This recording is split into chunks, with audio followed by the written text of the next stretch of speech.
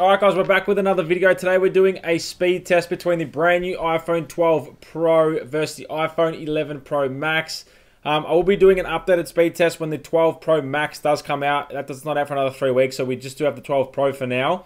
Um, but this is the speed test. Got the brand new A14 Bionic in the 12 Pro, and we do have the A13 Bionic in the 11 Pro Max. So it'll be interesting to see how the 11 Pro Max does. The 12 Pro does also have an extra 2 gigs of RAM as well. So it's now it's up now it's up to 6 gigs in the 12 Pro and only 4 gigs in the iPhone 11 Pro Max. We'll see if that makes a difference as well. Uh, but nonetheless, let's hop straight into the speed test. Alright guys, hopping into the speed test. I'm going to do a power up test first. But first of all, I just want to show you guys that they're both on the same Wi-Fi and everything's exactly the same here. Um, at the same time, I'm going to power down the both devices and then I'm going to um, plug in the cable or flick the switch to both cables to turn on at the same time. So that's probably the most even way to do it. So let's power down both devices. Now obviously I do have the iPhone 12 Pro on my left and the iPhone 11 Pro Max on my right. And once, like I said before, once the 12 Pro Max does come out, I'll do a comparison between the 12 Pro Max and the 11 Pro Max. Um, but for now, these are the two devices we do have. So on the count of three, I'm going to plug in the charger. So one, two, three. Let's see which one turns on first. Um, as you guys can see, the 11 Pro Max there coming on first. I was just curious to see because this has a small display. Is it going to be a bit faster because it has to push less pixels? Maybe when the, the 12 Pro Max comes out, maybe it'll be a bit more even. I'm not sure. I'm just throwing ideas out there. We'll see which one starts up first. So the 12 Pro starts up first. Actually, a lot faster than the 11 Pro. Alright guys, so we're going to start off with something a bit light, so such as Maps, the App Store, Safari, the camera app, see which one loads up faster. Then I'm not going to clear the app switches after I've started. I want to see if the extra 2 gigs of RAM in the 12 Pro makes a difference. And then we're going to head to a few other benchmarks and a few other games. So we'll start with something light, such as um, the camera app. So one, two, three.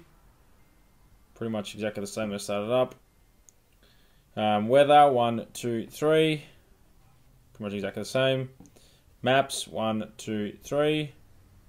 Pretty much exactly the same. App Store, one, two, three. Pretty much exactly the same. Again, and just so you guys know, this display is a bit more yellower than the one on the 12, on the 11 Pro Max. And I think apparently that's just how it is at the start. And apparently they just tend to ease off on the yellow, yellowing. I don't know how it works. I've just been told. But that's that. Let's hop in to Safari. One, two, three. All right, let's go to the speed test app. It's pretty much the same there. One, two, three. All right, neck and neck. Pretty much exactly the same there. Let's go for this one. One, two, three. I think you've seen it. Yep. As you guys can see, they're probably a bit more prominent of the yellowing. All right, there's not much of a difference so far.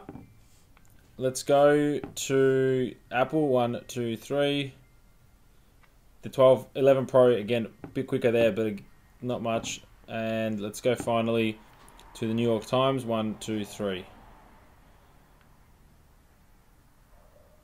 So they're pretty close, neck and neck. Pretty much exactly the same again. So not much of a difference so far on the web browsing side of things. Now let's start with some just light apps. So we'll go with YouTube, one, two, three. Again, I think the 12 Pro is a little bit quicker. TikTok, one, two, three. 12 Pro a little bit quicker. Among Us, one, two, three. Neck and neck so far, not much of a difference at all. Okay, so the 12 Pro did beat it there a little bit faster than the other ones. Temple Run, one, two, three. Now, as more games start to be loaded in, some more apps, I think the, the other extra 2 gig of RAM hopefully will start helping out the 12 Pro. That's what it's obviously there for. So again, that was pretty much exactly the same. It's a bit faster, but not much of a difference. Not much of a huge significant improvement. Here we go for a bit more heavier apps right now. So Real Racing 3, 1, 2, 3. See if this makes any difference at all. Now the new screen size is 6.1 inch compared to the 5.8 inch on the just the 11 Pro. The new 12 Pro is a bit bigger. And obviously the new 12 Pro Max is 6.7 compared to the 6.5 on the 11 Pro Max. So We'll see when that comes out. Uh, that's my daily driver will be the 12 Pro Max, but this is just for me to test out this 11, this 12 Pro. 12 Pro beat that out. Again, maybe a couple seconds difference there, not much. Asphalt 9, 1, 2, 3. Bit more heavier of an app here. Normally takes a bit longer to load Asphalt. See how we go here.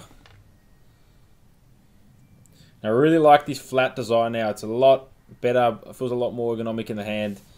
I really, really like the flat design. And I got the other Pacific blue color as well, which is awesome.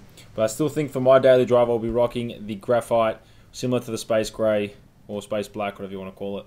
That would be my choice. We'll see here what is going to come through first. What's going to win, the A14 or the A13 Bionic? What's going to come through first? There we go, as you saw there. So the A14 Bionic, straight through on that one. That's already done. You got out of the app already, and it's still loading. Probably you'd have been playing right now. You could have been playing. Just to show you how much quicker this is. There you go. So it's a good 20 seconds, I reckon, there of how much faster the Asphalt 9 was loaded on the iPhone 12 Pro. Let's load up some Netflix. One, two, three.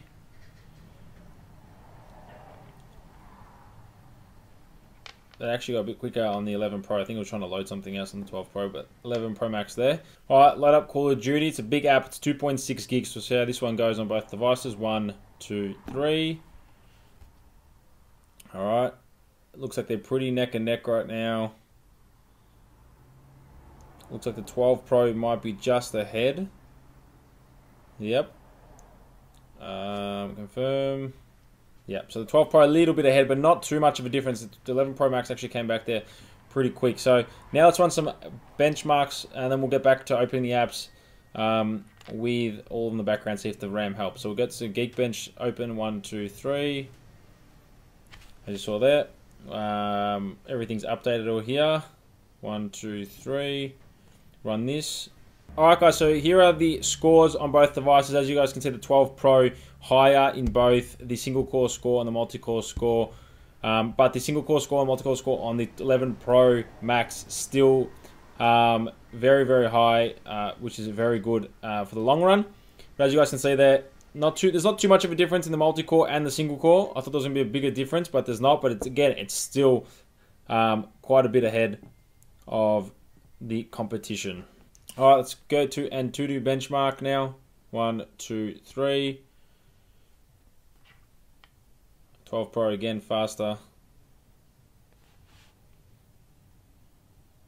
Alright, let's start the testing. I'll come back to you guys once this is finished. Alright, so here are my results for Antutu Benchmark. And for some reason, my GPU part of the iPhone 12 Pro was a lot slower than the 11 Pro Max. Now, I don't know if it's due, maybe the phone's getting hot. I'm not sure, and it's throttling itself.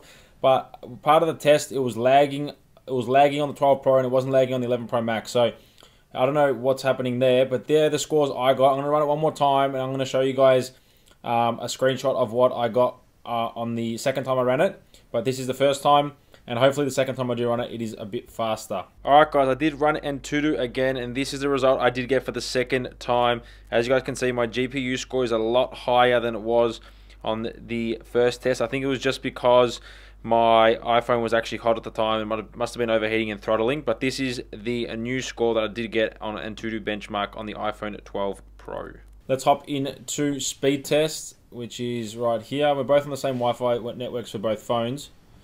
Um, now, I'm going to run one phone at a time on the Wi-Fi, and then I'm going to do a 4G speed test LTE because I haven't got 5G at the moment. It's um my SIM card's on its way, so I can't really test that out yet. But once the 12 Pro Max does come out, then I can test that out properly.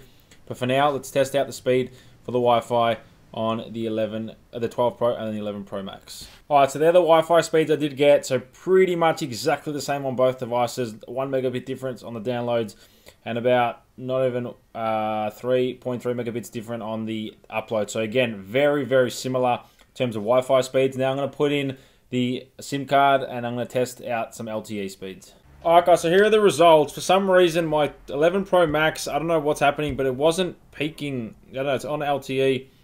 Both Optus. As you guys can see, the 11 Pro Max wasn't getting nowhere near as high as the 12 Pro for some reason. Not sure why. I ran it twice again, same service, same everything, and it was just getting uh, different speeds. So I'm not sure. Maybe it's getting hot and it's overheating. I'm not sure, but that's the result I did get for speed test. I also wanted to retest the LTE speeds I did get yesterday because they were quite low. As you guys can see, I got 58 on one test and then 58.3 on the other test. So I retested it and I actually got 181. Um, 17.3 upload, and I also got 198 on one test and 16.3. So that looks a lot more normal than what the LTE speeds were yesterday. Again, it probably came down to the phone, probably thermal throttling, I assume, and it was just wasn't as high. I'm not too sure, but this is the new result. Now, I want to see if these apps are preloaded in the background. So we're going to go to uh, Maps, one, two, three.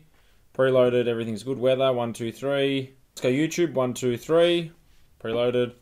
TikTok, one, two, three. Yep, in the background. Among Us, one, two, three.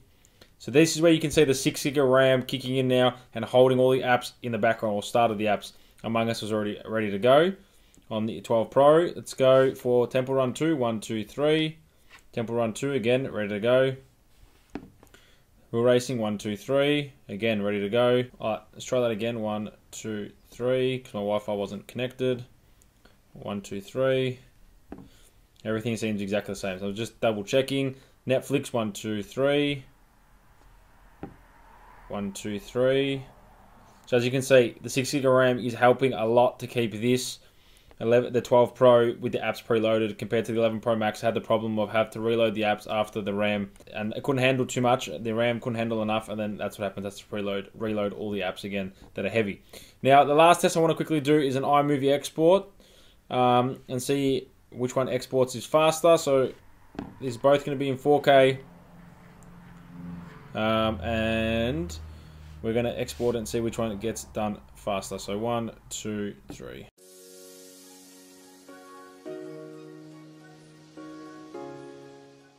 Alrighty guys, both things completed here on the iPhone 12 Pro did do it first and I got an error saying there wasn't enough space for some reason, but this did come in second anyway. So the iPhone 12 Pro was quicker in that test as well. And apart from that, guys, that wraps up the speed test portion of this video. Alrighty, guys, that wraps up the video of the brand new iPhone 12 Pro versus the iPhone 11 Pro Max speed test. If you guys have enjoyed, make sure to smash the thumbs up button. Stay tuned to the channel. I have a lot of other videos coming out. I've got a camera test between these two. And also, like I said before, when the iPhone 12 Pro Max does come out, I have these speed tests again with the new phone and another camera test because the cameras are a bit different. Also have an iPad Air 4 versus the iPad Pro video coming out as well. A of comparison um, and all that kind of stuff. So stay tuned. Thank you for watching. And I'll catch you guys in another video.